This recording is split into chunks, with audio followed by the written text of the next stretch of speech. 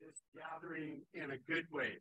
It is in our culture, our customs, and our tradition to always start our day in a good manner, in a good way. So each day, even myself, uh, I was up at four o'clock this morning to come here, and uh, I started my day with with giving thanks for being able to make it through the night and to being able to walk and breathe and see and hear, smell and taste.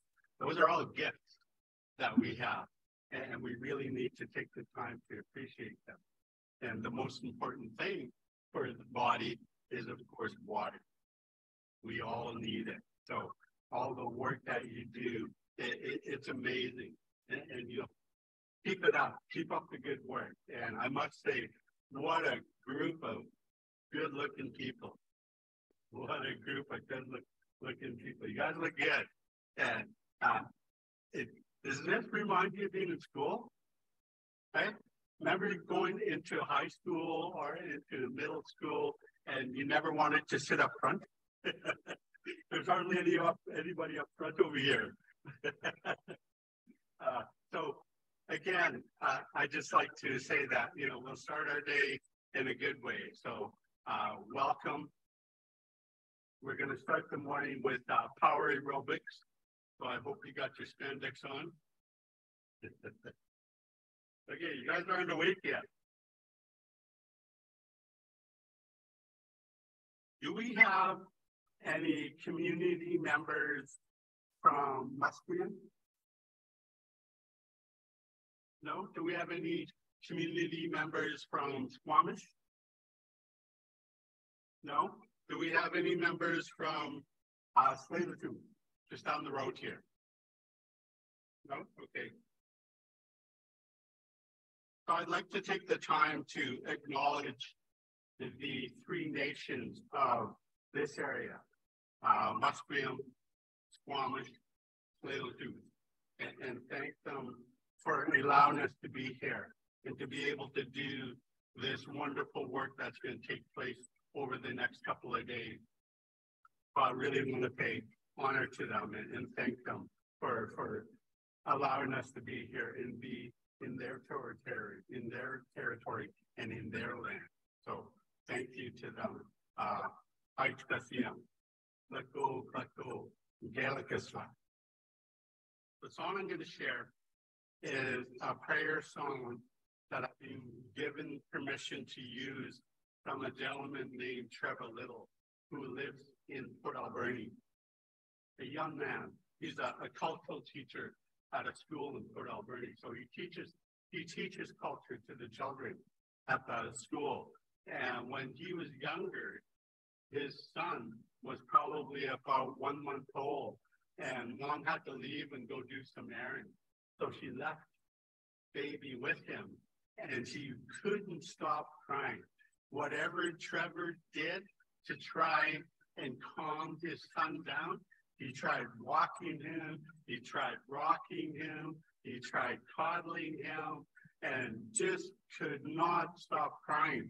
And then on the wall where he was, was a prayer that was written out by his grandma. So he started singing this prayer, and all of a sudden the son stopped crying. So he just kept singing this prayer song, and then he created the song. And now his son is probably about 22 years old, and he still sings the song too. So that's the story of the prayer song that I'm going to share with you this morning, and that I've been given uh, permission to utilize. So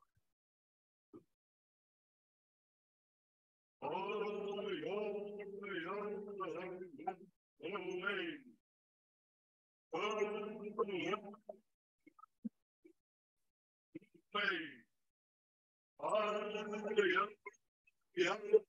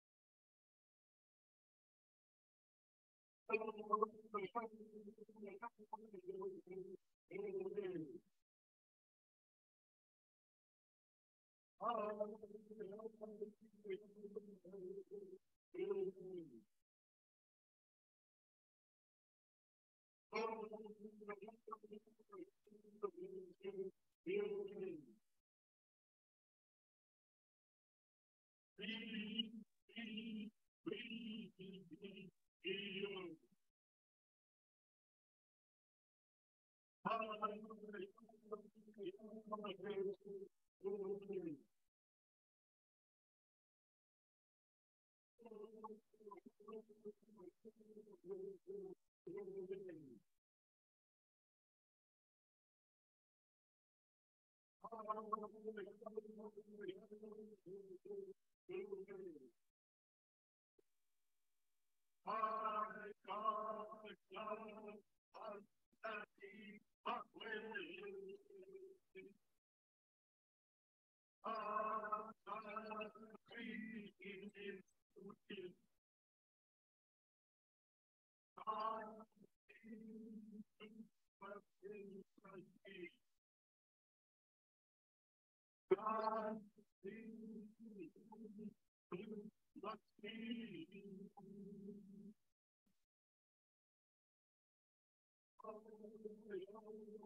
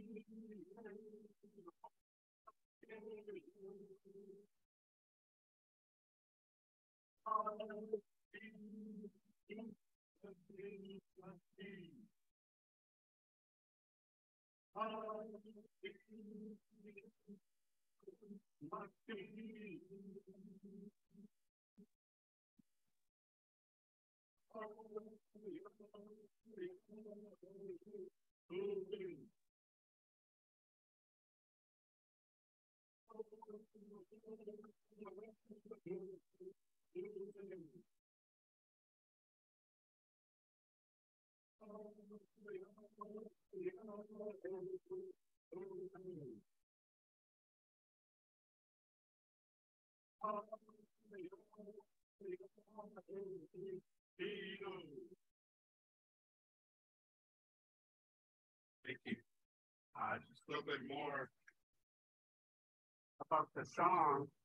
If you noticed, uh, the beat of the drum was a heartbeat. And if you know anything about infants or anything about children, that's the first thing that they hear is their mother's heartbeat. So when Trevor created the song and wrote the song, that's what he thought of was that his son hearing his mother's heartbeat. And that's how why he created that song. Aichka, Gaelic as well. But go, but go. Enjoy the rest of your day.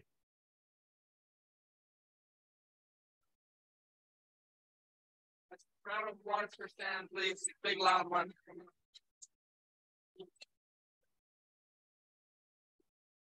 I'd like to welcome Kalpna to the stage, please.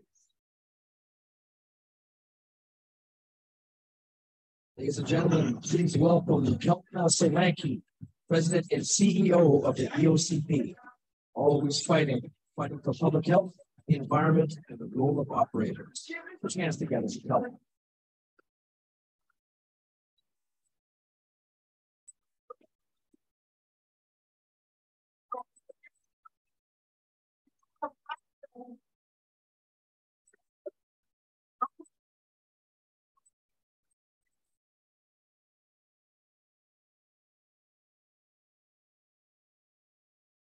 So great to be here with everyone, both in this room and online. we have people joining us in this room from across BC and Yukon and some people from the US as well.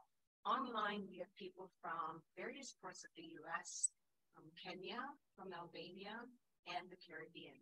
So it is truly an international conference. So most of you know me as the president and CEO of the Environmental Operator Certification Program. If we could get the slides up on there, please.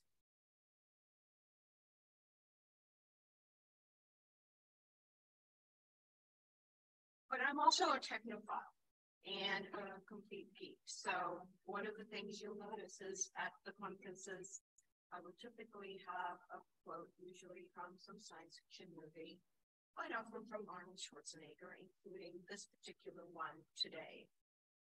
And the quote, and I and the other thing is I subscribe to Arnold's daily, Arnold's Pump You Up Club, which is an email that comes from him every day. And this quote today that I was that I selected for today is what we face may look insurmountable, but I learned something from all those years of training and competing. I learned something from all those sets and reps when I didn't think I could lift another ounce of weight. What I learned is that we are always stronger than we think. Over the past few years, we've had so much thrown at us so where the slides are. We. But we're capable and we're resilient and we can do it. Which is why we're still here. So along the way, we, we started this process a few years ago on our strategic plan. And I've been with many organizations. Right now, I'm on my 10th and 11th boards, getting on to right now. And one thing I noticed with a lot of organizations, they put together a strategic plan and they kind of go like, oh, that's great, we're done. And they put it on shelf. With us, what we decided to do was we're going to create our work on a strategic plan, including a number of stakeholders, staff, directors, uh, First Nations, and non-First Nation stakeholders. And we developed four priorities that would chart our journey over the next few years to show how these fit in with everything that we do. And anytime we embark on a new project that seems like a really great idea, we do re- review our strategic priorities to see how they fit in. So our first priority is to encourage sustainability of our industry by promoting the operator profession, education, training, and recruitment.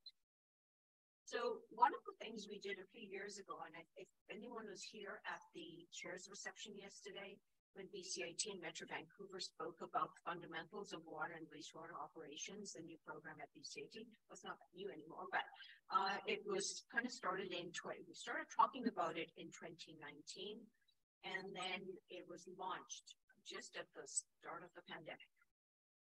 And so what was interesting about this was the level of collaboration that was needed between BCIT, Metro Vancouver, and EOCP. And we moved pretty quickly. And it's interesting that this program that started in 2021 now has its has its fifth cohort starting.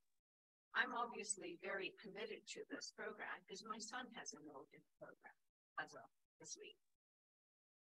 This program, the current cohort has 28 students in it, and it has a wait list. There's also a concurrent program running, which is First Nations operators, well, potential operators for, for the future. And that cohort started um, in March. So there are two cohorts running right now. We support all the programs at all three organizations, BCIT, Open Okanagan College, and Thompson University. And what's really encouraging is that this year, between these three programs, they'll be graduating more than 100 new potential operators, which is amazing considering the shortage we have in the industry. We also continue to market the program to high school, college, and university students, as well as newcomers to Canada. To spread the word, we have these stickers, and we actually have a roll of them. So if you want to take them, it basically is a water drop, and you can put them at filling stations and, and, and so on. And it's got a QR code, and the sticker reads, fill, drink, repeat. And it's basically just to spread the word with regards to where does your water come from? I mean, how many people really think about where the water comes from? They don't. It's just magic. And so this is to raise awareness, but then also it directs people to our new website, which is launching soon, and it's watergeek.ca. And I don't know if you saw in your delegate packages, there are these wristbands which say hashtag watergeek, and the URL is at the back, watergeek.ca. I encourage all of you to wear it, wear them because all the cool kids are going to be wearing them. So to promote the profession, we also have transit ads across BC. And we have an operator on the job video series, and we participate in career fairs as well.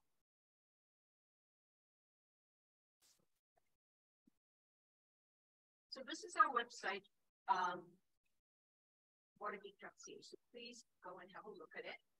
And it's got a lot of information in terms of why become an operator. What are the benefits of becoming an operator? It's also got a lot of information on how do I become an operator. And what's really nice about this is we've actually taken ex- excerpts from our operator digest where we talk to operators and one of the things we ask is like, what do you like about your career? And so we've actually used some of those excerpts. It's not for me because I'm not an operator, but from operators who are actually giving feedback on what they like about their jobs.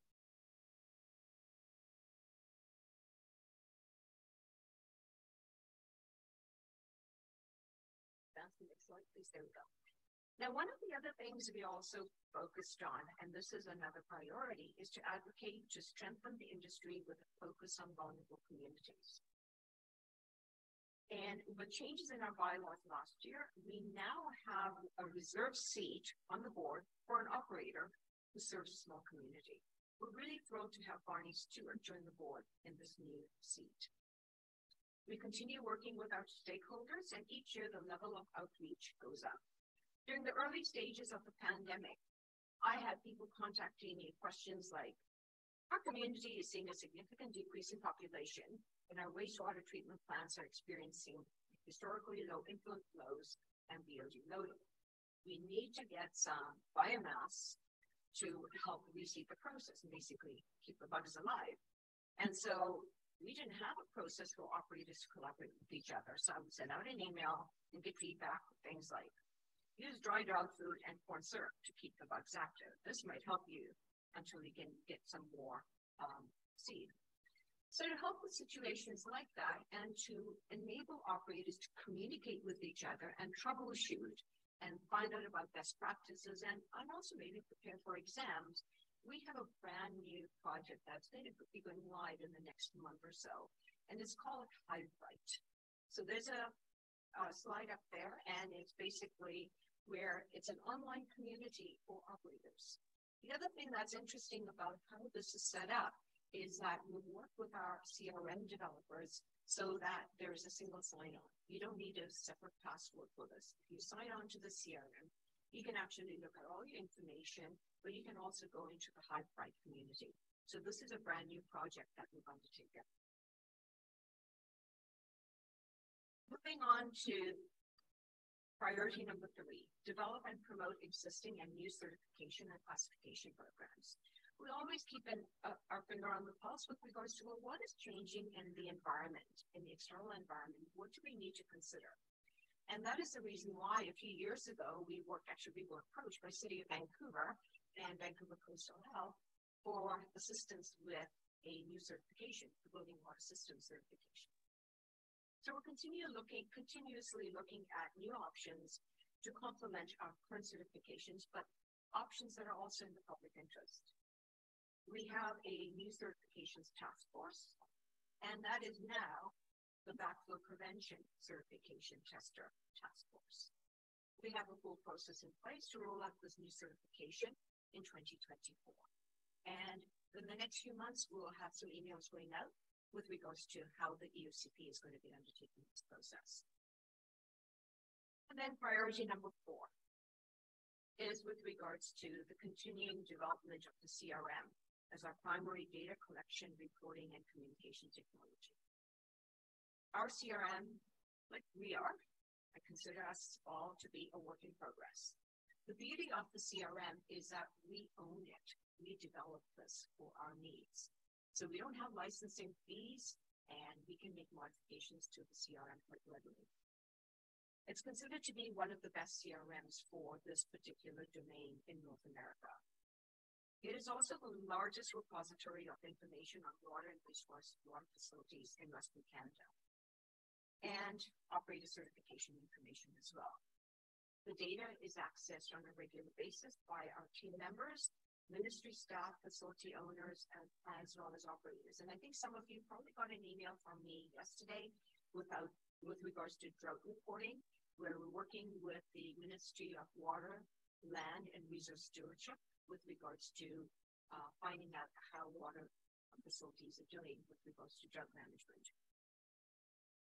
We're also currently working with the Ministry of Health on data migration from our system, possibly on a daily basis. We're trying to work this out in terms of what the ministry needs, because the ministry is going to be launching its own environmental health information system specifically for environmental health officers and drinking water officers.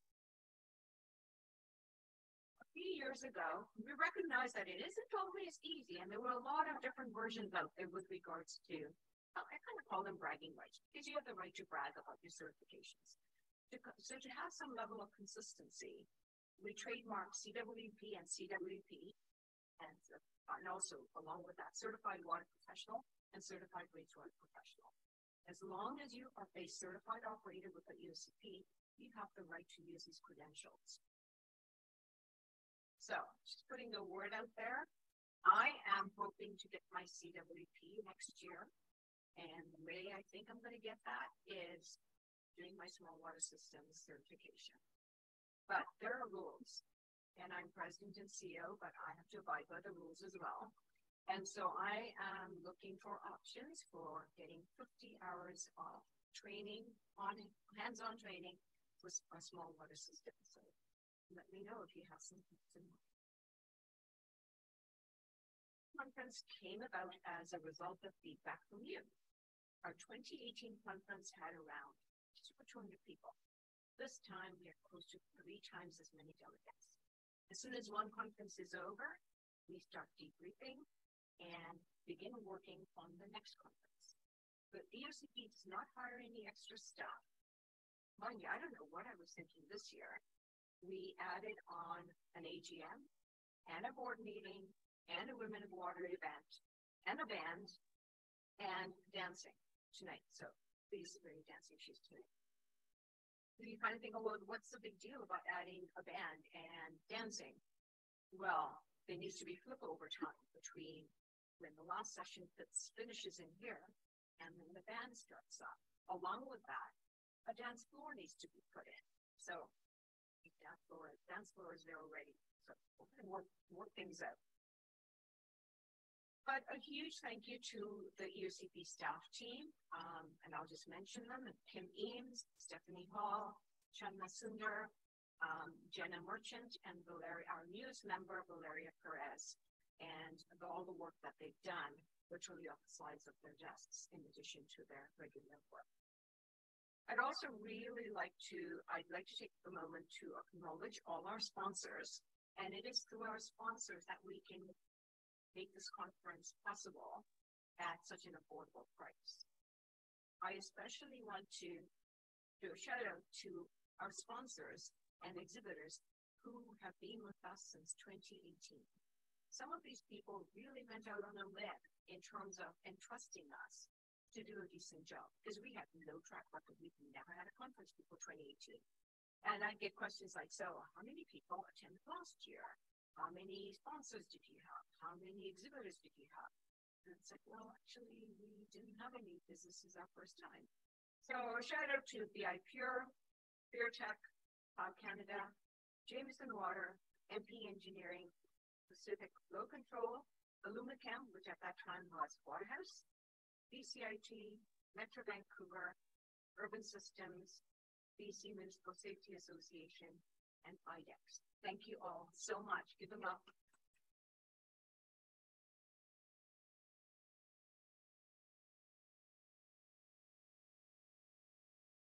thank you also to the amazing team at the Marriott Pinnacle. The team takes such amazingly good care of us.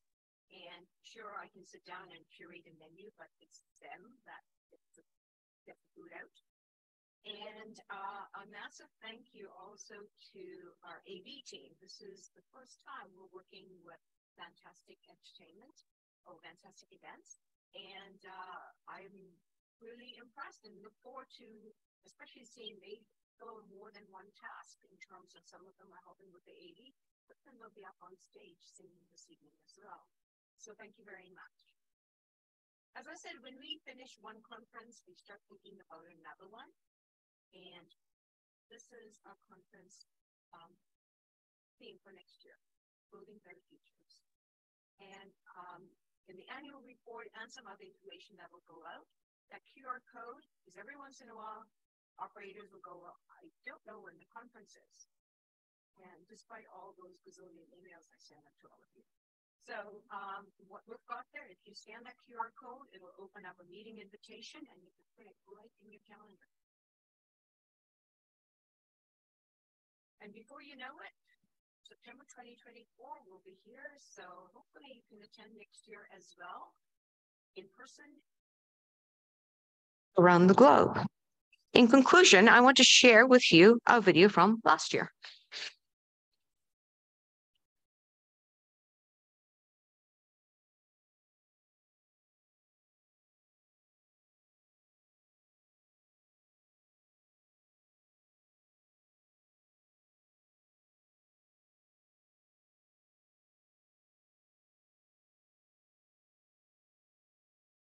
Yeah.